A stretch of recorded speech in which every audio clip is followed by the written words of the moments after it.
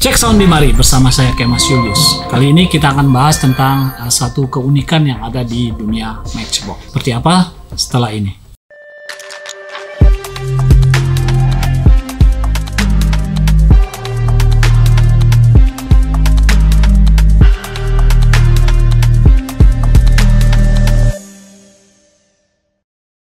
Oke, teman-teman, kita kembali lagi. Kita akan bahas satu tema tentang uh, Matchbox. Cuman memang uh, ini hanya sebagian kecil dari apa yang sudah dikeluarkan oleh uh, merek Matchbox. Yang kita akan bahas adalah satu sisi yang menurut saya ada sedikit keunikan uh, karena apa? Jadi ada beberapa model mobil yang pernah dirilis di era superfast ataupun di era uh, regular wheels ataupun di era 60-an 70-an sekarang dirilis ulang dengan adanya penyempurnaan. Ada juga dengan penyempurnaan yang lebih baik, ada juga yang tetap dipertahankan uh, seperti awal dirilis. Kita akan lihat beberapa model yang ada di sini. Kebetulan yang uh, matchbox yang ada di meja ini adalah uh, milik Om Lee Bunjit sebagian besarnya. Jadi karena memang Om Lee Bunjit itu salah satu kolektor uh, Mini Cooper dan Land Rover yang ada Jakarta dan kebetulan uh, kita bertetangga jadi gampang buat saya untuk mencari bahan-bahan uh, yang akan dibahas. Kita akan bahas yang pertama adalah tentang uh, seperti misalkan VW Golf. VW Golf ini waktu dia keluar di era Superfast dia berbentuk seperti ini. kemudian di tahun-tahun berikutnya dia juga keluar seperti ini ini adalah Golf nah tetapi yang kita bahas kali ini adalah Golf ini yaitu Golf GTI MK1 ini mungkin era keluarnya era 80-an dia made in Macau. Kemudian di sini ditulis bahwa dia berskala 1 banding 58. Sedangkan umumnya matchbox itu berskala di sekitar 164. Nah, di edisi yang baru dia mengadjust menjadi ukuran yang mendekati 164. Dia rilis dengan edisi seperti ini. Ini sama-sama MK1 tapi yang sebelah ini adalah ini sudah skala 164 untuk menjadi jelasnya kita akan buka biar lebih enak untuk membandingkannya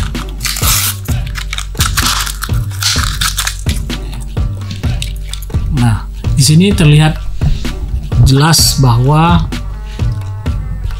antara rilisan yang lama dengan rilisan yang baru itu terdapat perubahan yang signifikan dari segi keakuratan untuk mendekati skala 164. Ini saya bisa yakinkan ini uh, skala 164 karena memang mobil uh, Golf ini lebih kecil uh, dibandingkan ini kalau memang bentuk dan berdasarkan skala yang ada di sini memang di sini dibilang satu banding 158 atau 56 ini ya. Pokoknya yang jelas ini lebih ke 164 Sebentar saya lihat apakah ada skalanya di bawah. Karena memang umumnya dulu Matchbox itu selalu mencantumkan skala berapanya. Oke, jadi kita bisa lihat perbandingannya. Ini mendekati uh, ini skala 150-an, ini skala 164. Jadi mendekati uh, Matchbox berusaha untuk mendekati ke skala 164. Kemudian untuk mobil Safari Land Rover, ini edisi regular waist atau istilah buat kolektor uh, matchbox itu dibilang namanya edisi ban tusuk.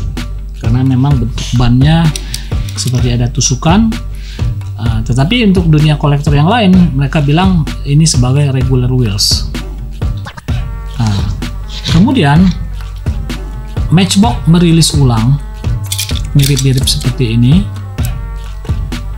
dengan roof rack juga dengan nama yang sama dan memiliki varian roof rack isi roof rack yang berbeda.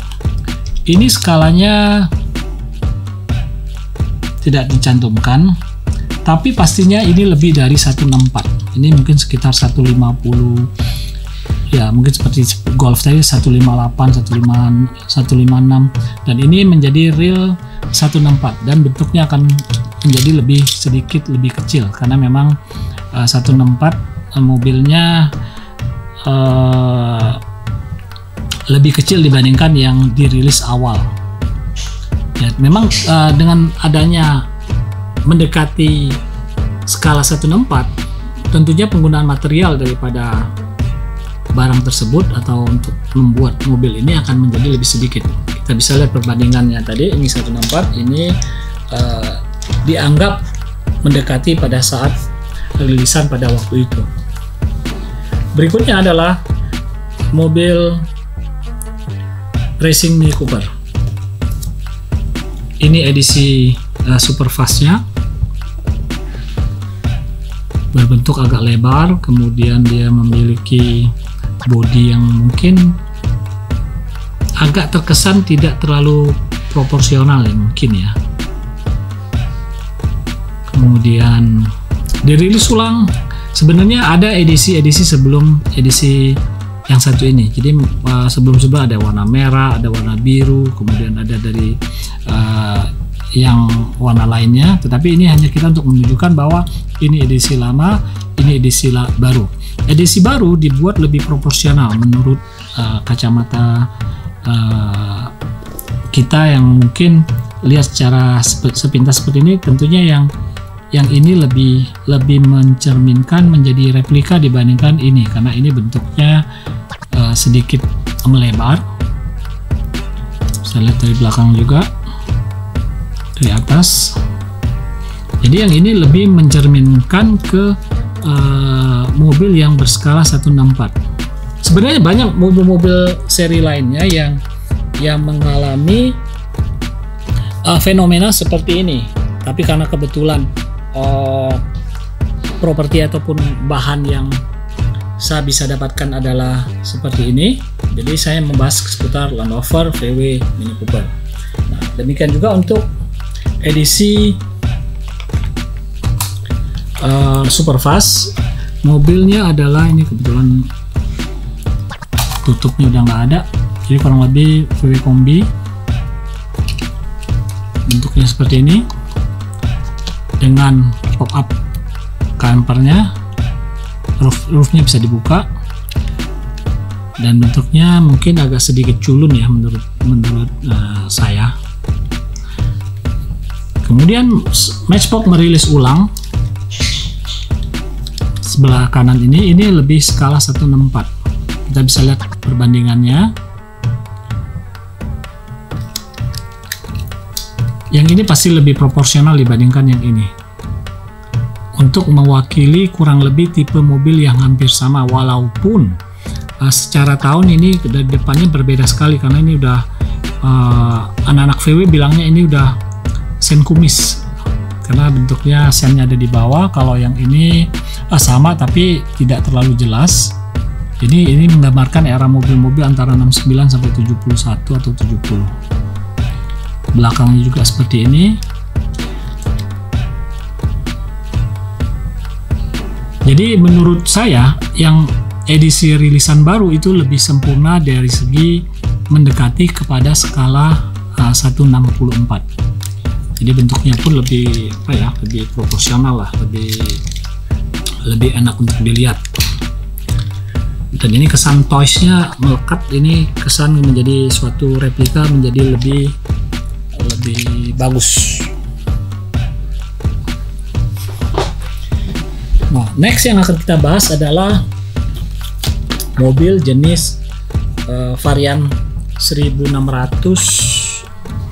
uh, di sini dibilang adalah Matchbox Volkswagen tahun 67 1600 TL ataupun biasa dikenal sebagai uh, varian fastback ataupun kadang-kadang kalau anak-anak VW itu bisa bisa biasa mengatakan ini adalah mobil-mobil yang dinamakan mobil varian bongkok karena memang bentuk mobilnya seperti bongkok gitu.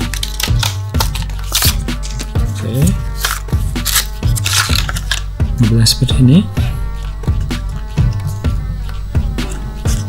kemudian dia mempunyai ini yang warna merah yang regular wheels dia pintunya bisa dibuka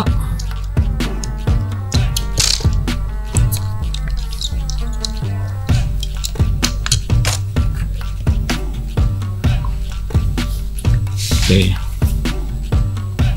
Nah, Hot Wheels mengeluarkan juga edisi ini ketan kalau dilihat di bukunya ataupun di detailnya mengatakan ini mobil tahun 67 dirilis ulang sama Matchbox untuk tahun 65 tetapi secara proporsional bentuk dari uh, mobilan ini lebih mendekati dengan seperti castingan yang lama. Kita buka biar lebih jelas untuk melihatnya.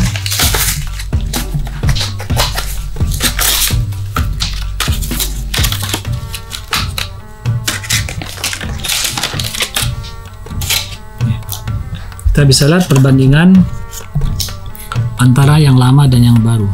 Kurang lebih mendekati casting yang hampir sama. Yang membedakan mungkin yang lama ini dia ada lampu uh, fog lampnya sedangkan yang baru dia menggunakan uh, bulbar ataupun ada tanduknya. Yang istilah bilang bilang itu adalah uh, American style. Kemudian untuk fungsi pintunya dia sama dia bisa dibuka. Oke, kita bisa lihat di sini. Ini ada seri regular wheels yang juga edisi super fast ini kemudian kondisi yang kurang ini kurang bagus. Kemudian dari segi bawahnya mungkin dia edisi baru detailnya lebih lebih cakep. Tapi secara uh, mata awam melihat ini seperti mirip dari satu casting walaupun ternyata ini adalah suatu castingan yang baru kita bisa lihat dari grill garis yang ada di kabagasi kemudian fungsi dari uh, besarnya daripada jendela kaca yang ada di belakang. Yang lama lebih lebar ini lebih kecil.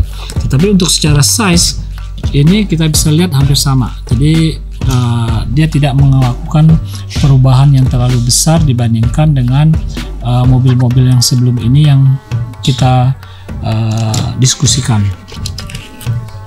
Sebenarnya mungkin banyak sekali mobil-mobil lain yang tadi di reissue ulang oleh Matchbox dan dengan menggunakan metode-metode yang mungkin berbeda dengan uh, yang ada di sini.